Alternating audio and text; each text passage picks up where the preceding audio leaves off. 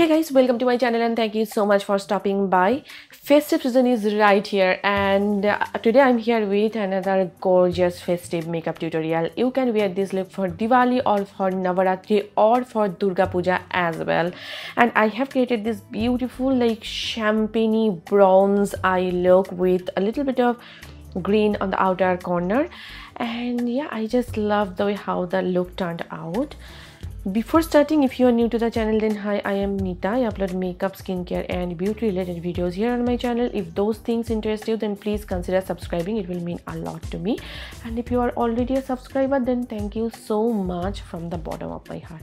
So yeah without further ado let's get started First, I am using my Anastasia Dip Brow Pomade in the shade Ebony and I am drawing the borders of my brows first. Then I'll be filling them up using small hair-like strokes. I already shared with you my eyebrow routine. If you are interested, I will mention the video in the description box down below. So make sure to check it out. Now I'm just cleaning up the borders on my brows using my Milani concealer which I'll be using for my face later on. I just like to clean up the borders of my brows because I, I always love that sharp brow look. You can totally skip it if you want to. I'm applying the same concealer on my eyelids to prime my eyelids for eyeshadows and now I'm just blending everything out using a damp beauty sponge. This particular sponge is from Wet and Wild and it is my absolute favorite. I'm using my Maybelline Fit Me Loose Powder in the shade 15 Light and I'm just setting the concealer in place so that it does not crease. I'm using this eyeshadow shields which I got from Amazon. You can use your regular sticky tip as well. For my eyes, first I'm taking my Murumuru Butter Bronzer from Physicians Formula and I'm applying it as my transition color with this large fluffy blending brush from Morphe. This is my Morphe M441 brush. If you do not have any like brown eyeshadow, then you can totally grab your bronzer and use it as your eyeshadow and it just works perfectly well for me. Now I am taking this rusty orange shade from my Beauty Glazed Color Board eyeshadow palette. This is the orange palette and with my Morphe M456 brush, I am applying it as my crease color and I'm slowly building it up uh, to avoid any kind of patchiness. And you guys, if you have any video request, uh, if you want me to create any uh, look, makeup look, then please let me know in the comment section down below or in general if you have any video requests then feel free to comment down below because uh, i like to film your requested videos so please leave a comment. Now i am blending everything out using that uh, same fluffy blending brush so that there is a seamless blend. Now I am taking this dark emerald green shade from the palette and I am applying it on my outer V area and for that I am using the same Morphe AM456 brush this is a very deep uh, shade so this type of shades tend to become patchy pretty easily. So you need to be careful and i am first just placing the color uh, and then i am just slowly blending it out and i'm barely touching my skin because if you press hard then the shadow might stick to the point where the brush hits first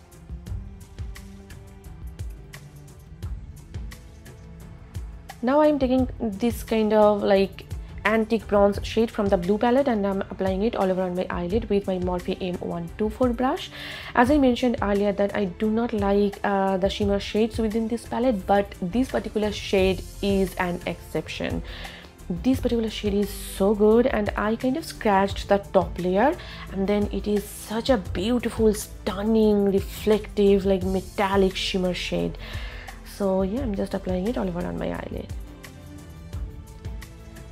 Now taking that green shade i'm applying it between the shimmer shade and that outer area shade just to create a nice and smooth gradient effect. Now to amp up the look further i am taking these two pressed glitters from my uh, NYX glitter Goals eye uh, pressed glitter palette.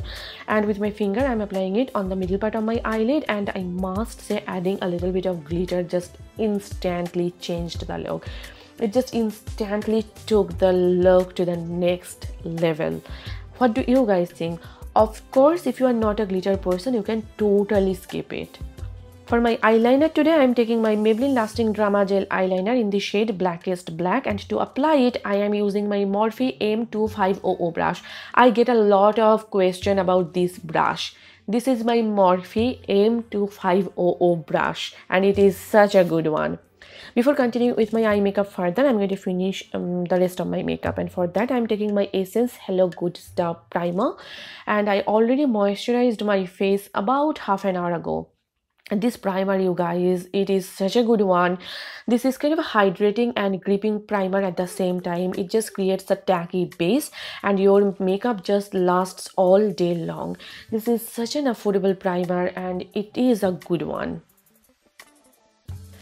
now I am taking my favorite Girl orange and yellow color correctors and I have taken three parts of the yellow color corrector and one part of the orange color corrector and I am mixing them together to create my custom shade. And now I'm just applying it underneath my eyes and I am blending it out at the same time using my finger because the warmth of my finger uh, will help to melt the product into my skin. For my foundation, I am taking my Maybelline Superstay in this shade 310 Sun Beige. And this is, you guys, a full coverage foundation. You guys always ask me to recommend you some full coverage foundations. And this is a good one. Now, bear in mind that coverage is very much subjective. I have minor scars, minor imperfections, and this gives me full coverage as if I don't exist anymore. But if you have really darker, deeper uh, like spots, then you can always go ahead and use a full coverage concealer to spot correct. And for highlighting and concealing i'm using the same milani concealer in the shade 135 and I'm applying it underneath my eyes, around my mouth, on my chin, cupid bow, down the bridge of my nose as well as on the center of my forehead and I'm blending it out using the same damp sponge. I like to start blending my concealer from my mouth area first because I do not want coverage on that area. I just want a little bit of highlighted effect. I want coverage on my under eye area and if you let your under eye concealer sit for a bit then it just gives you a full full full coverage try this hack out and trust me it works. Just let your under eye concealer sit for about 40 to 50 seconds and then blend it out and you will notice a difference i promise you. Just try this hack out I'm setting my under eye area as well as my smile lines using the same Maybelline Fit Me Loose powder and uh, to set my entire makeup I am taking my Flower Beauty powder in the shade beige and I'm just setting my entire makeup using a powder brush.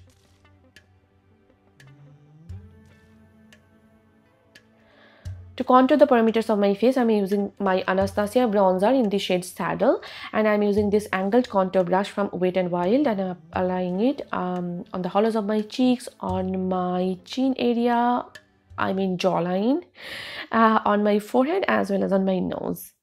Just to sculpt out my face a little bit more. And do not worry if my nose contour is looking a little bit harsh right now. I will blend it out later i promise I'm taking the same Physicians Formula bronzer and I'm just warming up my complexion a little bit more to bring back that healthy glow to the face.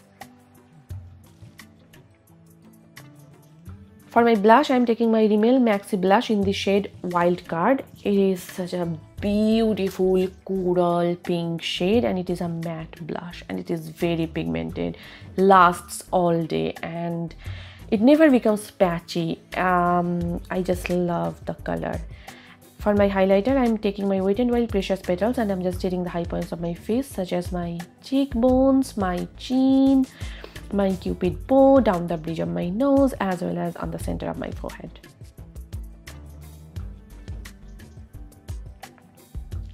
I'm finishing the rest of my eye makeup. For that, first I'm just tightlining my eyes using my Milani eyeliner pencil in the shade After Dark. This is a matte black eyeliner pencil and it lasts all day long. And I'm smudging out my entire lower lash line using the same uh, matte green eyeshadow. Taking that rust orange shade, I'm applying it on the border of the previous shade just to tie the look together and I am highlighting the inner corner of my eye as well as my brow bones using the same uh, Maybelline highlighter, Maybelline Wet n Wild highlighter and I'm elongating the eyeliner on the inner corner of my eye and I'm just giving it a V shape just so that my eyes look wider and bigger. I'm curling my lashes with my eyelash curler and I'm applying a Kota mascara. This is my Essence Lash Princess Volume Mascara. Again, such a good one. You can skip falsies if you want to, but I used falsies off camera. To set my entire makeup, I'm using my Rimmel Stay Matte uh, Makeup Setting Spray. And I am first lining my lips using my uh, this is my Colourpop Lippie pencil in the shade Love Bug. This is such a beautiful rusty brown shade. For my lips, I'm using my Maybelline More Rust. I love the formula. I have done a full review and swatches of all the shades. You can go ahead and check that video out. I love the formula of these lipsticks. These are so good. And that is pretty much it and here is the final look. I got my jewelries from amazon and i really liked how the look turned out. I uh, did a side bun like messy bun kind of a hairdo for this look and i absolutely loved it and i love the eye and lip combo so so so much. And i hope you guys liked it too. If you did then please hit the like button and please do subscribe to my channel. And if you are not following me on facebook instagram and twitter then please do follow me there. All the links will be given in the description box down below. So make sure to check them out. So yes see you soon in my next video. Till then bye and take care. Bye